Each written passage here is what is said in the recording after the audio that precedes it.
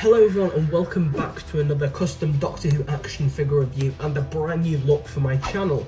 Now today I'm going to be taking a look at my first of the FAM customs I've done recently and that is Ryan Sinclair from The Woman Who Fell to Earth.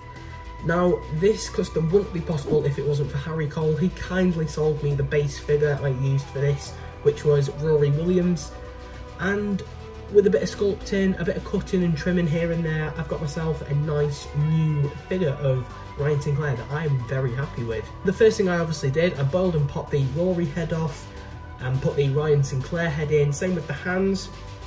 I removed the shirt piece. I cut the shirt piece that was hanging off on the back and then sculpted the jumper on. So it was quite a little bit of a simple process. And then it was just a simple task of just repainting the whole figure itself.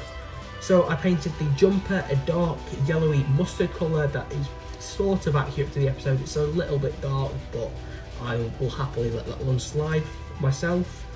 And the jeans, I just dry brushed different shades of blues, a little bit of black in there and a bit of white, just to add a bit of a denim effect. I kept the shoes as they were on the original figure, and the jacket I painted black. So the jacket, although the arms don't really match up with the jacket piece itself, obviously because it's a body warmer, I'm quite happy with it. Obviously it's not 100% accurate, but doing a custom, you're never going to get that. But it looks brilliant with the rest of the FAM and the TARDIS in my collection. And I think I've now made myself a definitive Ryan Sinclair figure. So thank you very much for watching. I hope you have enjoyed this video.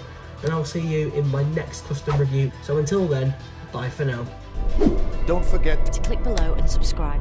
Well, how could I possibly forget that? For goodness sake. You got the message, haven't you? Don't forget.